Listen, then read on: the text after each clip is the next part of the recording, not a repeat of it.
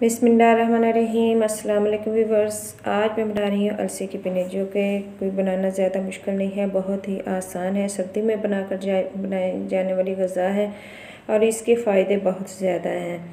तो ये छोटे बड़े सबके लिए बहुत ही मुफीद है, जहाँ इसकी मैं कुछ अफादियत बनाती हूँ।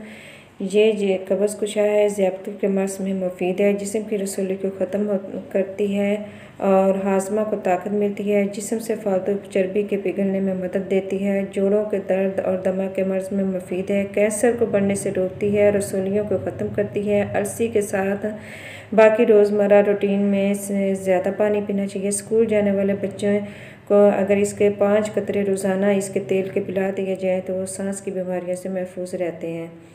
तो इसको बनाने के लिए कोई ख़ास मेहनत या ट्रिक की ज़रूरत नहीं है। बहुत सी सादा तरीके से इसको बनाने का तरीका आपने वीडियो को शुरू से लेकर एंड तक देखना है। तो आई होप आपकी भी ये अलसी की पिनियाँ बहुत ही मज़ेदार और अच्छे तरीके से बनेगी। तो बिसमीम यहाँ पे स्टार्ट करते हैं। यहाँ पे मैंने 250 ग्राम अलसी ली है। अलसी को मैं ड्राई रोस्ट करूँगी। ड्राई रोस्ट करने का तरीका ये है कि आपने मीडियम टू लो फ्लेम पे इसको कढ़ाई में डाल देना है और इसको लगातार इस तरह से इसमें चम्मच चलाते जाना है। ये ऐसे तड़ाक तड़ाक करके इसमें से जो है, इसके दाने वो ऊपर उड़ेंगे और बीच में से ये टूटेंगे। दो हिस्सों में तकसीम हो जाएँगे। तो आपने चम्मच को नहीं छोड़ना, फ्लेम को थोड़ा सा कम रखना है और इसको भूनते जाना है। जब ये गोल्डन हो जाए और इसका कलर भी ऐसा है, आप ऐसा करें, इसका एक दाना मुँह में लेकर देख लें जैसे जब वो क्रिस्पी हो जाए और मतलब अच्छे से भुन जाए, खुद ही फील हो जाए आपको कि जी अब जो भुन चुका है, इसमें कच्चापन नहीं रहा तो आपने इसको नीचे उतार लेना है, चाहे तो इसका बर्तन चेंज कर दें। बर्तन चेंज करने के बाद या उसी बर्तन में रखता आपने फिर भी चम्मच चलाते जाना है, एकदम इसको रख नहीं देना, क्योंकि अभी अभी वो गर्म होगी, और गर्म होगी तो फिर वो अंदर से काली हो जाएगी ना। तो जब ठंडी हो जाए, तब आपने चम्मच को रोकना है और उसको रख देना और बाद में पीस लेना अब यहाँ पे मैं आटा ड्राई रोस्ट कर रही हूँ। आप गंदम का आटा ले लें। मैंने यहाँ पे वन के जी आटा लिया है, जो आपकी पसंद हो। आप मूंग की दाल का आटा भी ले सकते हैं, चने की दाल का आटा भी ले सकते हैं। भुने चने का। तो आप उनको इस तरह से ड्राई रोस्ट कर लें। भुने चने के आटे को तो ड्राई रोस्ट करने की ज़रूरत नहीं है।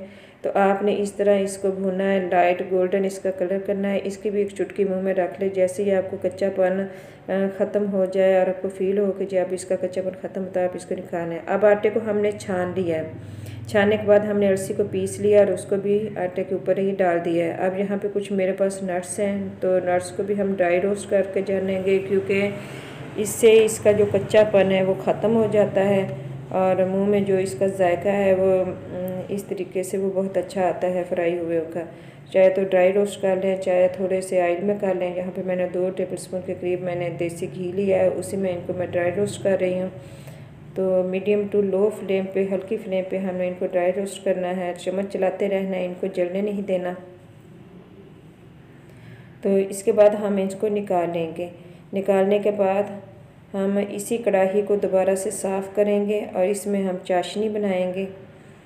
तो ये कोई इतना मुश्किल काम नहीं है, बहुत ही आसान तरीके से बनने वाली ये रेसिपी है। हमने इसमें 250 ग्राम के करीब हमने गुड़ लिया है। इसमें हमने डेढ़ से दो कप के करीब हमने पानी डाला है। अगर आपने आटा की मकदार थोड़ी सी कम की है तो आप पानी कम डाल दें। अगर वन के जी और एक पाव है तो आपने दो कप पानी, जो मीडियम वाले आपके कप हैं, चाय वाले, वो आपने डालने हैं। इसके साथ हमने तकरीबन एक पाव के करीब हमारे पास घी होगा।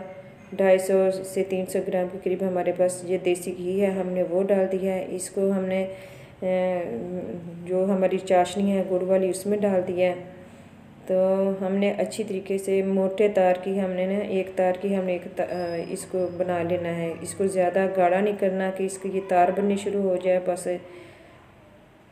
अब हमने यहाँ पे जो आटा था उसमें हमने थोड़ा सा डाला है सिंघाड़ा पाउडर क्योंकि बच्चों के लिए अच्छा होता है, हड्डियाँ मज़बूत होती हैं, कैल्शियम से भरपूर होता है। बाकी बेबी नट्स वगैरह इसमें डाल दिए हैं।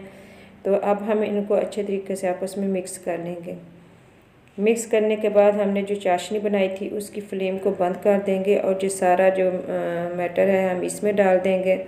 तो बाज़ात ये होता है कि जो चाशनी होती है वो कम पड़ जाती है घी में कम लगता है तो आपने परेशान नहीं होना, आपने दोबारा से चाशनी अलग से बना लेनी है।